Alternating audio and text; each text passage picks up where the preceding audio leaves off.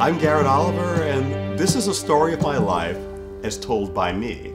I come from, in a way, a very Victorian family. I didn't think about it that way when I was growing up. We're definitely a lot weirder than everybody around us.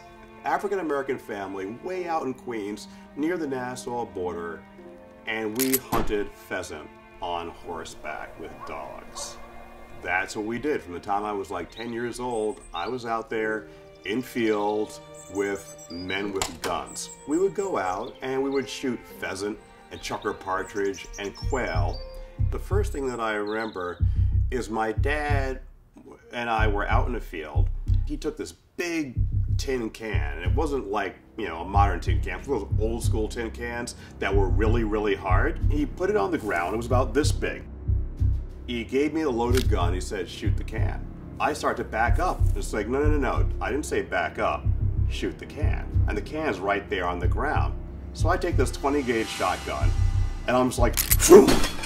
and he's like, all right, now find me some tomatoes. There was an inside out can and there was a red mist hanging in the air and I couldn't find any tomatoes. My dad said, that can is your head and those tomatoes are your brain.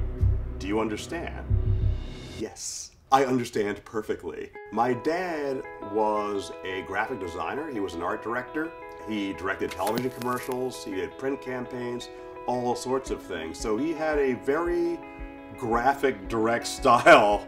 Even though I grew up in Queens, my dad's pole star was always Manhattan.